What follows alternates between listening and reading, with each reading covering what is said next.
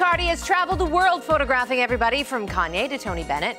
Now, last night we caught up with him in his Toronto studio to watch the celeb snapper at work. I'm a photographer and I get to hang out with some cool people and make great pictures, and I love it.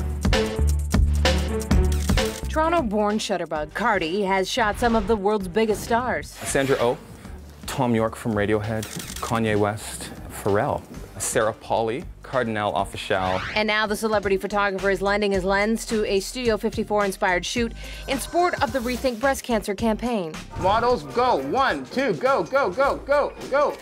I'm about to shoot the Red Seas parting and three amazing featured models walking down like it's a runway show.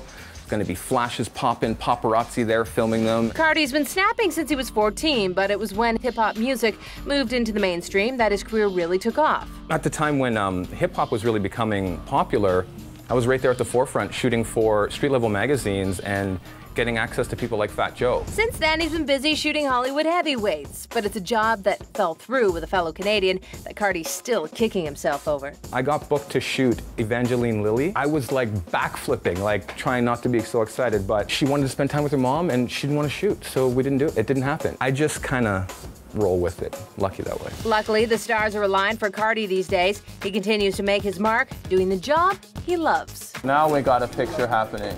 I'm lucky that I have eyes to see and the fact that photography is something that I can carve out as a career. I'm a, I'm a lucky guy.